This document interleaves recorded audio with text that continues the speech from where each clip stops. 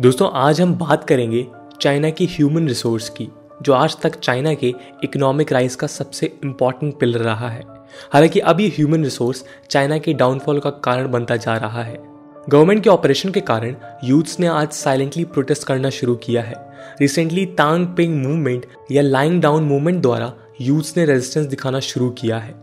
चलिए आज हम इस वीडियो के माध्यम से जानते हैं कि कैसे चाइना, जिसने मैसिव पॉपुलेशन को यूज़ कर रैपिडली ग्रो किया, आज कई रेजिस्टेंस फेस कर रहा है। इसी के साथ हम देखेंगे कि आखिर ये तांग पिंग मूवमेंट है क्या और कैसे चाइनीज़ गवर्नमेंट ने इसे क्रश करने की कोशिश की है। हम ये भी देखेंगे कि कैसे चाइना में बढ़ते लेबर प्रॉब्लम्स इंडिया पर इम्पैक्ट करेंगे। नमस्कार दोस्तों, मेरा नाम है आदर्श और स्वागत है आपका स्टडी आईक्यू में। आइए सबसे पहले हम चाइना की ह्यूमन रिसोर्स ग्रोथ को जान लेते हैं। अगर हम चाइना की हिस्ट्री में झांकें तो चाइना के सबसे पहले प्रीमियर माओ जेडोंग ने 1958 में ग्रेट लीप फॉरवर्ड पॉलिसी के तहत सभी फार्म्स को गवर्नमेंटल कंट्रोल में लिया और लोगों को फोर्सफुली वहाँ काम करने पर मजबूर किया। इसका इम्पैक्ट ये हुआ कि ज़रूरत से ज़्यादा लोग छोटे फार्म्स में काम कर रहे थे। इस कारण लेबर प्रोडक्टिविटी कम हो गई। उन्हें वेजेस कम मिलने लगे और उनका स्टैंडर्ड ऑफ़ लिविंग काफ़ी पुअर रहा। फैमिन्स स्टारवेशंस एक कॉमन ऑकुरेंस हुआ करता था। लेकिन डेंग जाओपिंग ने 1978 में पावर में आते ही इन पॉलिसीज़ को रिवर्स किया उन्होंने रियलाइज़ किया कि चाइना भले ही रिसोर्स रिच ना हो, पर उनका मैसिव वर्कफोर्स कंट्री का इकोनॉमिक बैकबोन बन सकता है। वर्कर्स अनस्किल्ड होने के कारण उन्होंने पहले वर्कर्स को एग्रीकल्चर और लेबर इंटेंसिव इंडस्ट्रीज़ में एम्प्लॉय किया। लोगों को मोटिवेट करने के लिए उन्हें इंसेंटिव्स के तौर पर प्राइवेट फ़ार्मिंग अलाउ किया। इसका रिज़ल्ट ये हुआ कि फार्मर्स अब अपना प्रोड्यूस किया हुआ मार्केट में बेच सकते थे और बेटर प्राइसेस रियलाइज़ कर सकते थे। एग्रीकल्चर बूस्ट ने लोगों को पॉवर्टी से उठाया।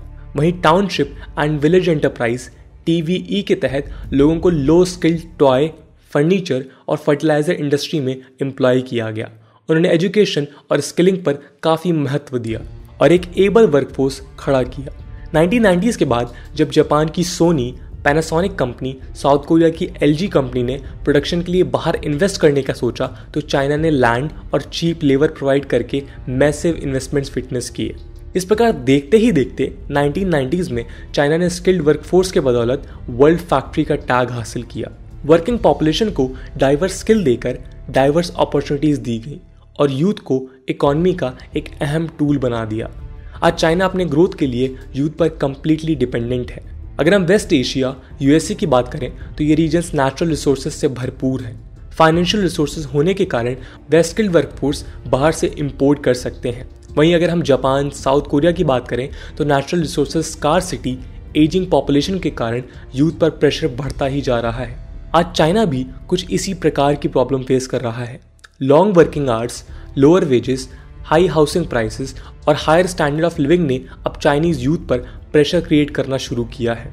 वहीं चाइना के 2020 डेमोग्राफिक सेंसस के अनुसार 60 एंड अबव पॉपुलेशन जहाँ 2010 में 13.3 परसेंट ऑक्यूपाई करते थे, वहीं आज 18.7 परसेंट ऑक्यूपाई करते हैं।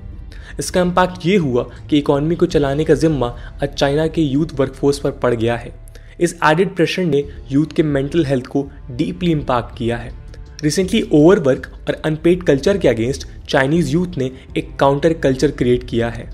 कंट्री के सोशल मीडिया और माइक्रो ब्लॉगिंग साइट में बढ़ते इस पॉपुलर कल्चर को टांग पिंग या लाइंग फ्लैट मूवमेंट का नाम दिया गया है।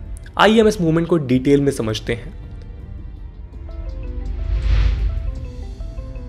लिटरली लाइंग फ्लैट का मतलब है लेटना या रेस्ट करना। दोस्तों लाइंग फ्लैट मूवमेंट एक पैसिव रेजिस्टेंस मूवमेंट है। इसमें यूथ्स ने marriage children employment material needs को त्याग कर इंडिविजुअल हैप्पीनेस पर फोकस किया है। इस मूवमेंट के तहत यूथ्स ने जॉब छोड़कर मेंटल हेल्थ पीस और इनर सेटिस्फैक्शन को इंपॉर्टेंस देना शुरू किया है। इसे स्पिरिचुअल मूवमेंट की तरह यूज़ कर longer working hours rising housing prices और सोसाइटियल या फैमिली प्रेशर जैसे इश्यूज़ को एड्रेस किया जा रहा है। इस कॉन्सेप्ट की शुरुआत लुओ हुआ जोंग ने लाइंग फ्लैटस जस्टिस पोस्ट द्वारा की। इस पोस्ट में लुओ ने अपना एक्सपीरियंस शेयर करते हुए कहा कि कैसे सिर्फ़ thirty one dollar per month two meals a day और दो साल तक काम नहीं करने पर उसने फ़िज़िकल और मेंटल फ्रीडम हासिल किया। इस एक्सपेरिमेंट ने उसे अपनी लाइफ को रिफ्लेक्ट करने का मौका दिया और उन चीज़ों पर फोकस दिलाया जिनसे उसे सही मायने में खुशी मिलती है।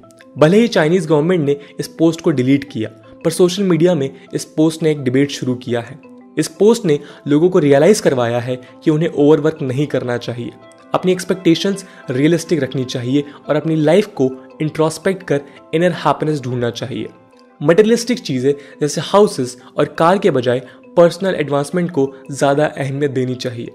देखते ही देखते इस मूवमेंट को हज़ारों यूथ ने ज्वाइन किया। रिसेंटली क्वार्ट्स की एक रिपोर्ट के अनुसार चाइनीज़ यूथ ने कई सालों से बढ़ते हाउसिंग प्राइसेस इनक्वालिटी ओवरवर्किंग बढ़ते फैमिली कॉस्ट जैसे इश्यूज़ फेस किए हैं। लेकिन गवर्नमेंट ने इन पर कभी ध्यान नहीं दिया। इस मूवमेंट के तहत यूथ ने गवर्नमेंट के फॉल्टी इकोनॉमिक पॉलिसीज़ को अपोज किया है। गवर्नमेंट ने इकोनॉमिक राइज के लिए देश के वर्कफोर्स को कम्प्लीटली एग्जॉस्ट किया है। चाइना में 996 कल्चर एग्जिस्ट करता है। यानी 9 M to 9 P M six days a week एक ऐसा वर्क कल्चर जिसने यूथ को ह्यूमन रोबोट बना दिया है। वहीं जॉब के लिए यूथ्स ने सिटी में माइग्रेट करना शुरू किया है, जहाँ बढ़ते हाउसिंग प्राइसेस ने उनका रहना मुश्किल कर दिया है। चाइना का वन चाइल्ड पॉलिसी ने आज एक एजिंग पॉपुलेशन क्रिएट किया है, जिसका सीधा प्रेशर यूथ्स पर पड़ रहा है। टांग पिंग मूवमेंट का राइस इन सभी फैक्टर्स का एक नतीजा है। चाइना की रूलिंग कम्युनिस्ट पार्टी ने इस मूवमेंट को देश के सोशल स्टेबिलिटी को थ्रेटन करने का आरोप लगाया है। आज तक चाइना के ऑथोरिटेरियन रूल को राइजिंग स्टैंडर्ड ऑफ़ लिविंग से ट्रेड किया गया है। यानी लोगों ने चाइना के one party system lack of basic freedom को एक्सेप्ट किया, क्योंकि इस सिस्टम ने उन्हें गरीबी से उठाया। लेकिन अब ये प्रेजेंट जनरेशन ने साइलेंट मूवमेंट के तहत चाइना के पॉलिटिकल इकोनॉमिक सिस्टम को क्वेश्चन करना शुरू किया है। इस मूवमेंट को रोकने के लिए चाइना ने कई मेजर्स लिए हैं। सेंसर्स ने इंटरनेट फोरन डोबन पर 9000 टैंग पिंग मेंबर्स के एक ग्रुप को डिलीट किया है। मई में चाइना के इंटरनेट रेगुलेटर ने ऑनलाइन प्लेटफॉर्म्स को ऑर्डर किया कि तांग पिंग रिलेटेड पोस्ट को सेंसर किया जाए। इसी के चलते सोशल मीडिया प्लेटफॉर्म सिना ने हैशटैग तांगपिंग पोस्ट को सेंसर किया है। वहीं रेगुलेटर ने ई कॉमर्स प्लेटफॉर्म्स को Tang Ping branded clothes, phone cases पर बैन लगाया है। चाइनीज़ स्टेट मीडिया ने इस मूवमेंट को शेमफुल डिक्लेयर किया है। फाइनली चाइना ने सोशल क्रेडिट सिस्टम के तहत लोगों पर मास सर्वेलेंस करना शुरू किया है। लोगों के बिहेवियर के अनुसार उन्हें स्कोर दिया जाता है। और यदि किसी इंडिविजुअल का स्कोर कम है तो उन्हें ब्लैकलिस्ट किया जाता है। इस प्रकार चाइना में मल्टीपल मेजर्स लेकर सोशल कंट्रोल लाने का प्रयास है। इन रिस्ट्रिक्शंस के बावजूद आज तांगपिंग मूवमेंट साइलेंटली स्प्रेड हो रहा है, जो आगे चाइना के इकोनॉमी को थ्रेटन कर सकता है। आइए अब हम देखते हैं कि इन इवेंट्स का इंडिया पर क्या इम्पैक्ट होगा। दोस्तों सिनेरियो में इंडिया काफ़ी एडवांटेजियस पोजीशन में होगा। रिपोर्ट्स के अनुसार 2020 तक इंडिया का एवरेज एज 28, चाइना का 37, जापान का 49 है। वहीं 62.5 परसेंट पॉपुलेशन 15 टू 59 इयर्स के बीच में पाई जाती है। यूनाइटेड नेशंस पॉपुलेशन फंड यानी यूएनपीएफ की एक रिपोर्ट के अनुसार इंडिया के पास ये डेमोग्राफिक एडवांटेज 2055 से 2056 तक है जो बाकी कंट्रीज़ के मुकाबले कई गुना ज़्यादा है। इस डेमोग्राफिक एडवांटेज को यूज़ कर हम बड़े कंपनीज़ को चीप स्किल्ड लेबर प्रोवाइड कर सकते हैं और फिर इन्वेस्टमेंट डेस्टिनेशन बन सकते हैं। चाइना में बढ़ते स्टैंडर्ड ऑफ़ लिविंग ने लेबर प्राइसेस को बढ़ाया है, जिसके कारण कई कंपनीज़ ने इंडिया वियतनाम और मलेशिया जैसी कंट्रीज़ में शिफ्ट करना शुरू किया है। अगर हम टेक्सटाइल इंडस्ट्रीज़ की बात करें तो German company Marco Polo US company Carter ने अपना मैन्युफैक्चरिंग बेस चाइना से तिरुपुर में शिफ्ट किया है। वहीं इंडिया के मेक इन इंडिया पॉलिसी को प्रमोट करते हुए सैमसंग ने नोएडा, यूपी में वर्ल्ड की लार्जेस्ट मोबाइल फैक्ट्री स्टैब्लिश की है। एप्पल के फॉक्सकॉन कंपनी ने वन बिलियन डॉलर इन्वेस्ट कर आईफोन असेंबली सेंटर चाइना से इंडिया शिफ्ट करने का सोचा है। इस प्रकार चाइना में बढ़ते टेंशन ने इंडिया को ग्लोबल मैन्युफैक्चरिंग के सेंटर स्टेज पर लाकर खड़ा किया है, जहाँ आज मल्टीनेशनल कंपनीज़ इन्वेस्ट करना चाहती हैं।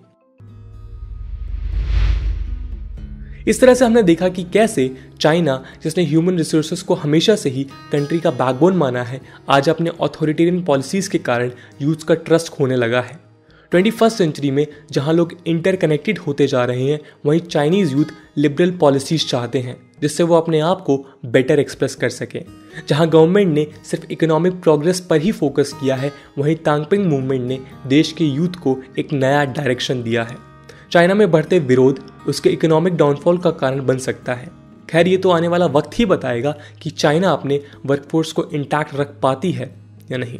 दोस्तों, आपका क्या ओपिनियन है इस पर्टिकुलर मैटर पे? क्या एजिंग पॉपुलेशन चाइना के लिए इतनी बड़ी समस्या हो सकती है कि वो उसके बढ़ते डोमिनेंस को कंट्रोल कर सके? और अगर आपका जवाब है हाँ तो उससे इंडिया को फ़ायदा कैसे हो सकता है? और इंडिया को ऐसे कौन से स्टेप लेने चाहिए ताकि चाइना में कंसिस्टेंटली इन्वेस्ट करने वाली कंपनीज़ अपने सेकेंड ऑप्शन के तौर पर इंडिया को ही कंसिडर करें? कमेंट सेक्शन में ज़रूर बताइएगा। आज के वीडियो के लिए इतना ही। आई होप आपको वीडियो पसंद आई होगी। और अगर पसंद आई है तो अपने दोस्तों के साथ शेयर करना मत भूलिएगा। हम मिलते हैं अगले वीडियो में। तब तक के लिए जय हिंद, जय भारत।